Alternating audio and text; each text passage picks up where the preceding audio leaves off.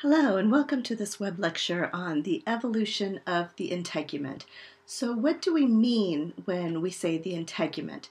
The integument consists of every part of the covering of the body. So, this includes obviously the skin, as we're seeing here, but all of the structures that either develop within or are derived from the skin. So, all kinds of we call integumentary structures. So, this structure, the integument, is going to have a number of different functions, some of them very obvious. It's the covering of the body, so this it's this barrier between the body and its environment. So it's going to play a lot of roles such as protecting the body from abrasion um, or other kinds of damage from the environment. It's going to protect the body from things like microbial invasions and pathogens, uh, protection from, from UV, uh, sunlight, and those kinds of things that we generally think of our skin as doing. But if we include all of these other integumentary structures and all the different things that the skin can do, we find lots and lots of different kinds of functions. So the colors in the skin can provide camouflage, sometimes in a very dynamic way in the case of things like chameleons that can change their colors to match their background. They can form these extensions and elaborations, such as in a sea dragon, to, to camouflage the body and make it look like the seagrass that it's hiding in. The colors can also provide warnings, so we see warning colorations in these salamanders and this frog here that are basically saying these bright colors mean that I'm poisonous. It's going to communicate to predators to avoid these particular species. They can serve as communication. So here we see a typical mating or aggressive display by an anolis lizard using this extension of the skin. This is called a dewlap, that it extends from its neck to communicate Neck extensions can become very, very elaborate, as in the case of this lizard. Integumentary structures can form things like spines to help to protect the animal, as in the case of this spiny echidna. They can even form locomotory structures. So here is the wing of a bat that's composed primarily of skin that's stretched between these elongated digits. And this is a flying fish that also uses skin to form these wing like structures from its fins to be able to leap up out of the water and be able to glide significant distances over the surface of the water. So there are lots and lots of things that we can do with this external covering of our bodies. So let's take a look at the composition of the skin itself. So we've already alluded to this idea that the skin is a composite structure composed of tissue that's derived both from ectoderm and also mesoderm. So we've got the epidermis that's derived from that ectodermal covering over the entire uh, surface of the growing embryo. This is going to, the cells are going to proliferate and create this layer of epidermis.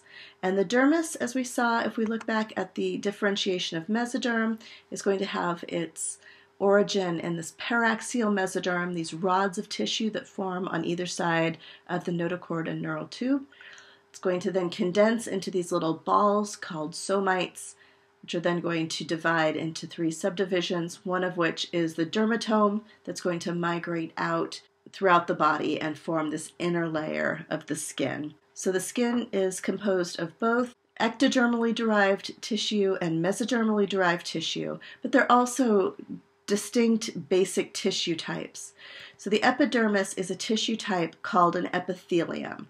So an epithelium is a layer or sheet of very tightly packed cells. So all of the cells are in very, very close association with one another through tight junctions between the cells. So within the epithelium, we find structures such as glands that you see here, and also often keratinized cells. So, keratin is a lipid rich protein structure that helps to make the skin a little bit tough and also a little bit waterproof. And so, as we'll see as we go on in land dwelling vertebrates, this is going to form a layer at the surface of the skin called the stratum corneum, which are completely keratinized cells. And we'll talk more about that as we go. The dermis, on the other hand, is a connective tissue. So, a connective tissue is defined as a tissue where there are very sparsely spaced cells. These are the we call fibroblast cells scattered through this dermis, and then some melanocyte cells, these dark ones, and these loosely packed cells that are not going to have direct connections with each other are going to secrete something called a ground substance, some kind of matrix that they're going to be embedded in. And in the case of the dermis, this matrix is going to consist primarily of collagen and elastin protein fibers. So these protein fibers are secreted by the living cells, but they are not themselves living tissue. So we've got sparsely spaced cells, no direct contact with each other, that are going to secrete this ground substance. So within this connective tissue, within this dermis, we're also going to find basically all the stuff that keeps living cells alive in, in large bodied animals. So we're going to find the blood vessels, the nerves. We're also going to find smooth muscle here within the dermis. So let's take a closer look at the functions of each of these layers. And we're going to look at this example of fish skin. This is basically the same image that we've been looking at. The function of the dermis is primarily to be a very tough layer. So all of these collagen fibers have very great tensile strength. So pulling strength, they're not going to break very easily when you pull on them. And the elastin is as it sounds, a, an elastic tissue that's going to tend to restore the original shape when it's stretched. So the dermis is going to play a big role in maintaining the contours and the shape of the body. The job of the epidermis is pretty much to be expendable and die. So this is the layer that protect, protects against abrasion and other kinds of scraping and things like that in the environment. And it does this by just sloughing off and being replaced. So these cells are going to be replaced in this very bottommost layer of cells, and this is called the stratum germinativum. So there's a membrane that separates the dermis from the epidermis called the basal lamina, and directly adjacent to that basal lamina is the stratum germinativum. This is the layer of actively dividing cells. This is where all of the regeneration of that epidermis, this constant generation of these kamikaze cells whose job is basically to die. and so in the case of fish skin, these epidermal cells are helped in this job by a layer of mucus that covers the skin that's going to also help um, protect against microbial infection and also this abrasion. And so there will be many of these unicellular mucus glands in the cells of the fish. But then also this layer of epidermis and when this top layer is abraded away or scraped or it's just time for it to be sloughed off, it's going to die a form of cell death called necrosis, or we can think of this as disorganized cell death. It's just going to open up that cell membrane, and the cell contents will just be sort of spewed to the environment, and that cell will just kind of be sloughed off in this very kind of uh, disorganized way. It's just going to kind of explode and spew its contents to the environment. So as this happens at the surface, these cells are constantly worn away. They're constantly being regenerated from the stratum germinativum, and they'll move upward toward the surface as more and more cells are generated beneath them. The main integumentary structure that we see in fish are scales. So these can be bony scales in the case of osteichthyes or the bony fish. Sharks have a distinct kind of scale called a placoid scale, that resembles tiny little teeth all over the body. But these scales that you find in bony fish are primarily made up of a form of bone called dermal bone. We'll talk more in detail about what that means and how that forms when we get to the skeletal system. But basically, inside each of these little flaps, there is a bony scale made of made of dermal bone that's going to be covered over by a layer of dermis and then this layer of epidermis in this shingle like way. So, this is an example of something called a cycloid scale. You'll see detailed descriptions of many different kinds of scales in the book, um, but they're all going to serve a similar function and be formed of similar components. So, what you see here is this part labeled the exposed part. These are the little shingle like things that you see actually on the surface of a fish. The rest of these the scale is going to be embedded in the skin, and this is going to give the skin additional protection against mechanical damage by forming this kind of bony outer shell. So let's take a closer look at how these scales develop. And so, what we're going to see here is in the development of scales, there's going to be this intricate interplay between the dermis and the epidermis, the mesodermally derived tissue and the ectodermally derived tissue. And it's going to start with the formation of something called a dermal papilla, also known as a mesenchymal papilla, that's going to accumulate right here, right under the layer of the epidermis, and it's going to sort of push the epidermis up and grow up and form a little bump underneath the epidermis. So, as it does this, this papilla is going to start releasing signaling chemicals, sort of like what we saw in the case of dorsal development, these signaling molecules that's going to cause the overlying epidermal cells to differentiate into specialized cells called ameloblasts. So, once these have differentiated into ameloblasts, they're then going to start sending their own signal downward toward this dermally derived uh, papilla tissue that's going to send them a signal to differentiate into specialized cells called odontoblasts. So we're going to have this mutual induction. Once those epidermal cells turn into ameloblasts, then they're going to send the signal to the underlying cells to form odontoblasts. So, these ameloblasts are going to start secreting a substance called enamel downward toward the dermal layer. So, they're going to deposit enamel these odontoblasts are going to start secreting a substance called dentine upward toward the surface. And as these layers of enamel and dentine accumulate right adjacent to each other, the structure, the scale, is going to be pushing up toward the surface and eventually flatten out and sort of lie down over the surface of the skin. So it's going to have this dermal center that's going to lay down the, the bone that forms the center of it, a layer of dentine, a layer of enamel, and that's going to form that bony scale. So it turns out that this process of development is identical to the process by which teeth develop. And so, this eruption of this enamel and dentine structure is basically what happens in teeth. And it turns out that teeth are also integumentary structures that are evolutionarily derived from bony scales around the edge of the mouth that were useful in forming teeth to be able to grab prey. And so these are basically homologous structures, these bony scales and teeth.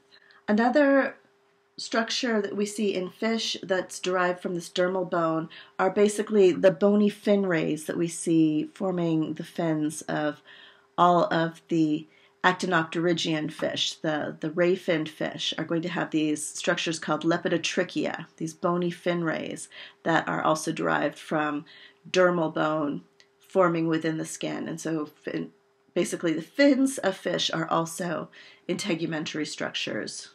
Now let's take a look at our first major evolutionary transition, that transition from an aquatic environment to life on land.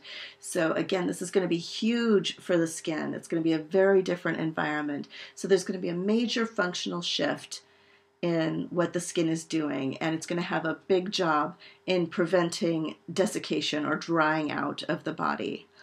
So, what we're going to see is this morphological innovation, the formation of the stratum corneum, or this keratinized layer of skin at the outer surface. So let's first take a look at the skin in frogs. So if we think about this stratum germinativum, it's actively dividing and pushing cells ever, ever upward toward the surface. And as these cells move upward through these layers of the skin, they are depositing the substance keratin. So, keratin is only produced by these epidermal cells. They're sometimes also known as keratinocytes. So, keratin uh, synthesizing cells. So, these keratinocytes are filling these cells gradually more and more and more as they go through these, move upward through these layers of the skin until when they get up into this layer, the stratum corneum, they their cell organelles have been completely replaced by keratin. So you still have the external structure of the cell. The cell itself is intact, but instead of being filled with living stuff, organelles, it's filled just with keratin. And so this is a different form of cell death. This is called apoptosis or programmed cell death or organized cell death. So we're going to kill off these cells in a functional way that, that serves some kind of purpose, in this case being a fairly waterproof and fairly hardened, tough layer of dead cells covering the outside of the body. So, this is a novelty, an evolutionary novelty of the tetrapods. Fish do not have this layer called the stratum corneum, or this heavily uh, cornified outer surface. Another big change that we see going from fish to tetrapods is these glands in the skin, rather than being just made up of one cell, we start to see multicellular glands. So these are going to be glands that can actually store up the secreted materials that they're going to release into these storage chambers and release these materials in very large quantities. So, if you think of amphibians in particular, one of the functions of their skin is that they're going to be doing some of their respiratory exchange through the skin, taking up oxygen and releasing carbon dioxide. To be able to do that, that skin has to be kept always moist. Those gases are going to dissolve in liquid before they can be absorbed. And so, all of these mucus glands that you see in the skin of a frog are basically have the purpose of keeping that skin always moist for the purpose of that respiratory exchange. Also, because they're exchanging respiratory gases through the skin, this layer of stratum corneum has to be relatively thin. So, we're going to have a very thin cornified layer. We also see in frogs other kinds of multicellular glands that contain things such as toxins, poisons, protective chemicals, and these can be in very, very large multicellular glands to be stored up and deployed as needed. When we come to amniotes, remember the big story with amniotes is this further liberation from the water. So, amniotes have this innovation of containing their embryos within a shelled egg so that they don't have to lay their eggs in water. And their skin is also going to show signs of that further liberation from water. So, what we're going to see is an increased thickening of that stratum corneum. They're going to have a much thicker, hardened, waterproof layer on the outside of their skin as compared to amphibians. Remember, who needed to keep that thin for respiratory exchange. We're also going to see in amniotes a lot of keratinized scales or plates. So, these scales are very different from the scales we saw in fish. These are going to be hardened by keratin rather than being bony scales, and we'll take a closer look in a moment at how these kinds of scales develop. We also see in amniotes the near universal presence of claws at the ends of the digits. So there are a couple of species of frogs that have some claws, but nearly all amniotes that have toes have some form of claw, nail, something derived from claws. So let's first take a look at the development of these keratin scales. So these keratin scales are going to also begin their development as a dermal papilla that's going to sort of push up into this layer of epidermis and form kind of a bump in the epidermis. So this bump is going to continue to grow up and sort of flatten out until it forms a scale that has a layer of very, very hardened keratin in the epidermis. So it's going to have a very thick, we call horny scale. We call things horny basically because um, the horns of um, things like cattle are composed of keratin, and so these are a similar material that makes up the horn. So we saw the teeth of lampreys described as horny for the same reason. They're made of keratin. So this very hardened region, and it's also going to contain this dermal core on the inside from this dermal papilla that kind of pushed up into the epidermis to form the scale. There's also going to be a region in between these scale structures that is softer and more flexible, and we call this the hinge region. This allows the individual scales to have some mobility. So again, we've got the dermis underlying kind of pushing up into each of these scales, and then layers of epidermis, a living layer, a non-living, thickened non-living, keratinized layer. So this is an example of lepidosaur skin. Remember, lepidosaurs are snakes, lizards, and the tuatara. And lepidosaur skin has something a little unusual that it does. Because these scales are so hardened, to be able to grow, they need to slough them off and form new ones to be able to increase in body size. These hardened scales do not actually grow. So, this entire process is going to rely on basically repeating layers of the skin, duplicating them into an outer epidermal generation and an inner epidermal generation, and these are going to be separated by something called a fission zone. So the stratum germinativum is going to underlie both of these two layers. It's not going to be repeated. And the stratum corneum is going to be limited to the outside of the outer epidermal generation.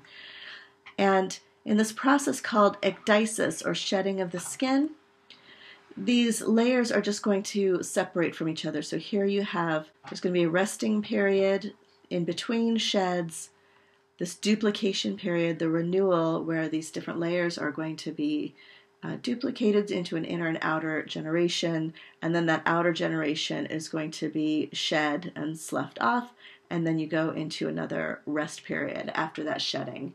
So lizards will do this generally um, in patches, kind of similar to what you see here, but snakes shed their skin all at once in one long piece, and it's sort of like turning a sock inside out and pulling the sock off so the skin, the shed skin of the snake you find, is actually inside out. We continue to see dermal bone in amniotes, even though their scales are made of keratin. They don't have these dermal scales, but they use dermal bone in different ways. So, one of the ways that dermal bone appears in amniotes are in structures called osteoderms. So, these are small bony plates in the skin. So, we'll see a couple of examples. This down here with the black and orange is the skin of a Gila monster, and these little dots are little bits of bone that help to protect that skin. So we see it also um, underlying the the hardened keratin in things like armadillos and pangolins that kind of roll up into balls and protect themselves with these hardened layers of osteoderms. We also see structures called gastralia. So you can think of these as being kind of like abdominal ribs. These are rib like structures that form in the belly side, the ventrolateral body wall. And we see gastralia in crocodilians primarily. They also make up part of the lower shell or the plastron of turtles. Turtles also incorporate dermal bone in the uh, upper shell or the carapace. So the turtle shell is made up of a layer of dermal bone with keratin scales on top of it. So these scales that you're seeing are the keratinized scales, and then underneath that is the dermal bone. And hopefully, you took a good look at the turtle shell in lab and saw that dermal bone lining the inside of the turtle shell. We also see dermal bone in these bony plates that run along the backs of crocodilians. So, again, these are keratin scales that are covering the bony plates, but underneath them are these bony structures called scutes that give extra strength uh, to the skin of a crocodilian.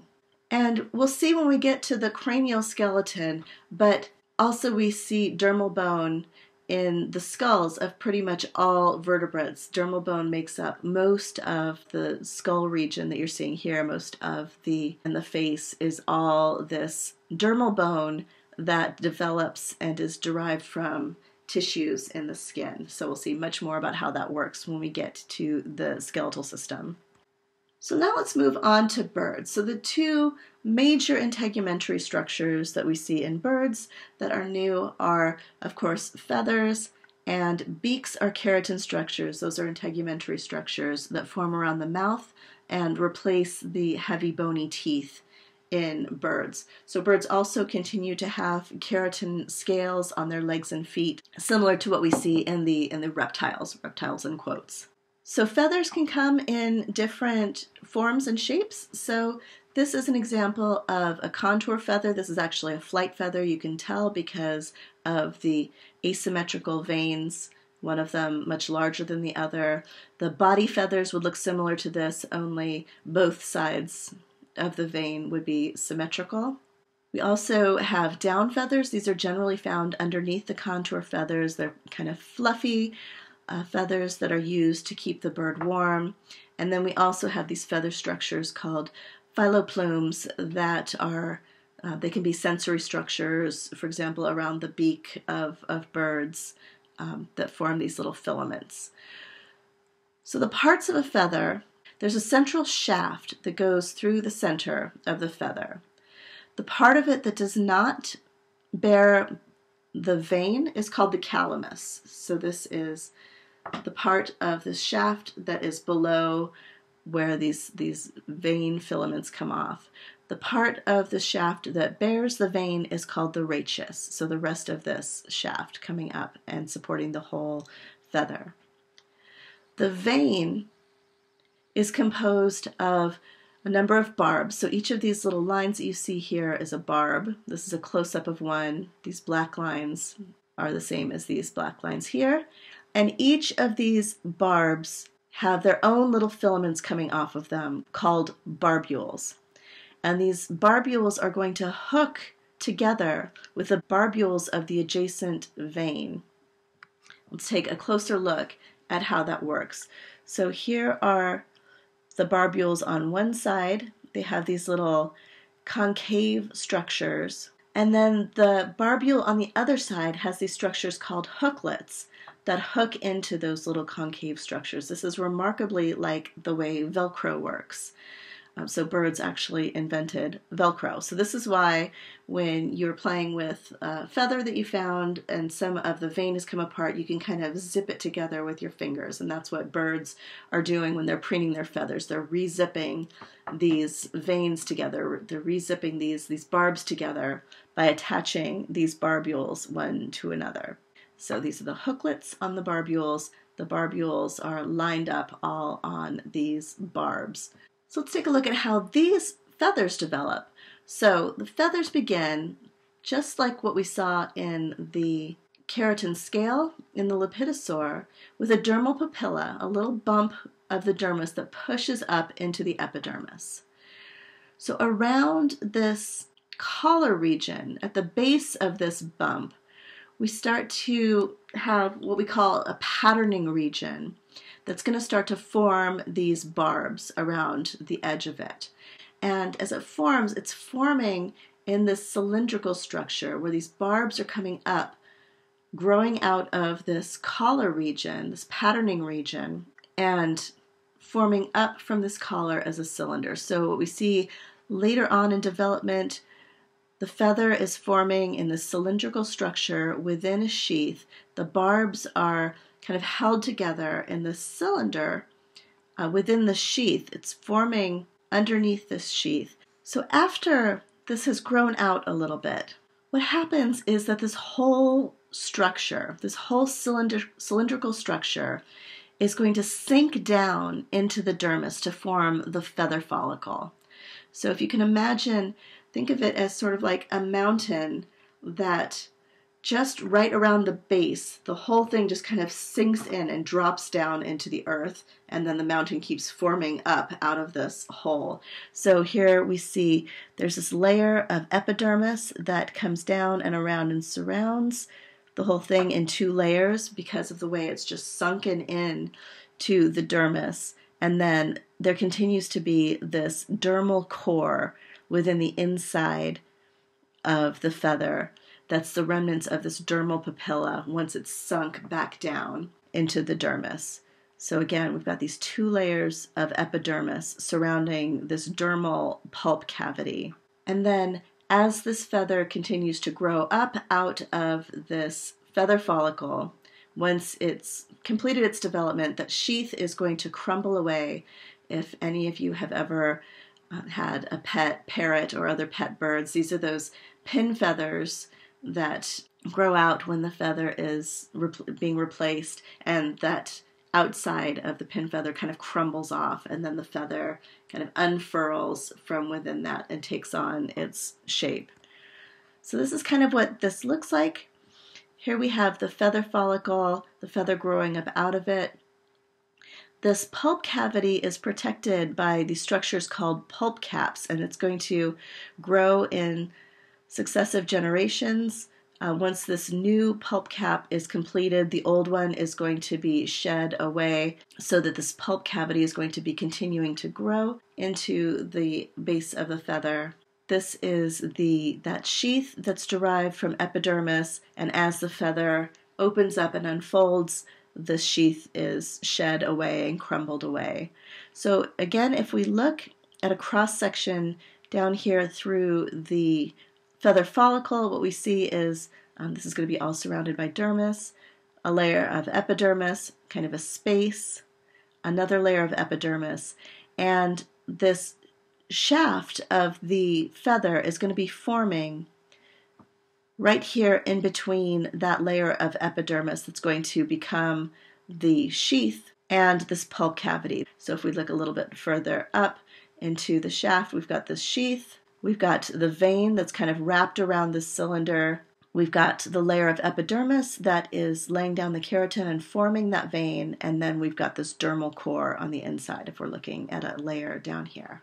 So again, if we were to look inside that sheath, this is kind of what we'd see. We'd see the cylindrical structure surrounded by a collar at the bottom. This is that patterning zone that's basically directing how these barbs are uh, constructed and patterned.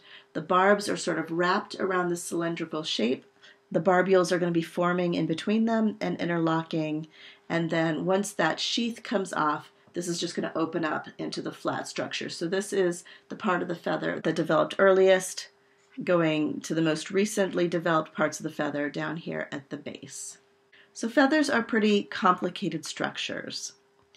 Now let's take a look at integumentary structures in mammals. So the main integumentary structures that we see in mammals, the novel ones are hair and mammary glands. But we also see an incredible diversity of other kinds of integumentary structures when it comes to mammals. So let's first take a look at the development of hair. So hair is going to develop in quite a different way, but with some similarities. So we're going to continue to have this close interaction between the dermis and the epidermis. So we're going to have a structure, a papilla structure form, but rather than it pushing up into the epidermis, the epidermis is going to grow down into the dermis. So it's going to push down, and this little cap of dermis, this little dermal papilla, is just going to be pushed down along with it. So again, this dermal papilla and the epidermis are sending signals to each other that are directing all of this development and the epidermis continues to grow down, it's going to form the basic structures for laying down the keratin that forms the hair. So within this bulb, we're going to start to have keratinocytes or keratin producing cells that are going to form the hair. We also start to see the development of some glandular tissue within this epidermis, and these are going to be the oil glands that are going to secrete oil and deposit it on the hairs to help protect and condition the hairs. And this is just going to grow down and down and down into the dermis, forming a follicle. But remember, this is just going to be lined by a, a single layer of epidermis that's pushed down rather than this kind of bump that grows up and then sinks back down into the dermis. And so the structure we end up with is again a follicle lined with epidermal cells. that goes deep within the dermis. So, because it's within the dermis, it's going to become associated with uh, muscles. So, these are called erector pili muscles. These are the muscles that allow mammals to, to raise the hairs to help keep warm. Dogs will also raise hairs on their back to try to look bigger in an aggressive type situation. So This is what you mean when you talk about getting your hackles up, you're taking an aggressive stance. These are also responsible for the formation of what we call goosebumps in people. These little bumps are basically the hairs being stood up when you get cold, basically in, an attempt to create a thicker fur coat, only we don't have the fur anymore, but our bodies don't really know that. And so we also get them when we get scared because of that same response that we talked about in dogs, uh, that attempt to make us look bigger by increasing the size of our fur coat is also a response of these erector pili muscles that will pull the hairs um, upward and cause them to stand on end. So here we see the sebaceous glands that are associated with the hair shaft that's going to deposit that oil uh, directly onto the hair follicle. Um, there are sweat glands both associated with the hairs and also um, independent of the hairs, so eccrine and apocrine sweat glands. Don't worry about those terms at all. And then things like neurons, uh, sensory nerve cells associated with hairs are going to be located down here in the dermis as well. Now, if we think about these mammary glands and how they develop in mammals, what we find is in pretty much all mammals, we see the development early in the embryology of a structure called a milk ridge, and it extends all the way from the axilla, which is another name for the armpit, all the way down through the thorax and abdomen, along all the way to the groin.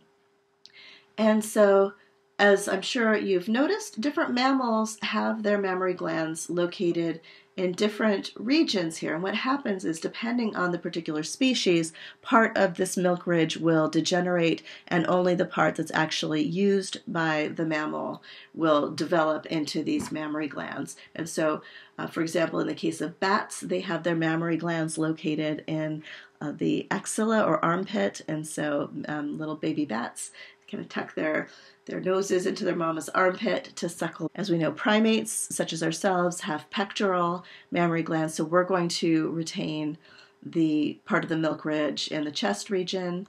Things like pigs and horses are going to have one or more mammary glands located along the abdomen, and so they're going to retain those while the rest of this milk ridge degenerates.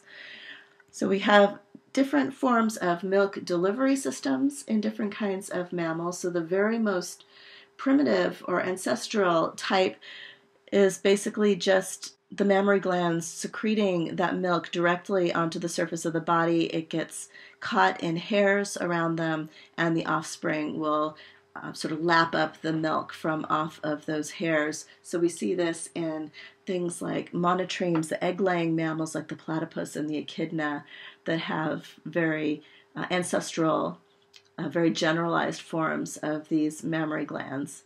In things like cows, we see an udder system where the milk is collected up and stored in the structure called a cistern. So all of the milk from all the different mammary glands are going to deposit here, and then there's going to be a single teat that's going to be the delivery system for the um, baby calf. And then, of course, things like primates, like ourselves, are going to have a structure called a nipple that the uh, young can suckle on.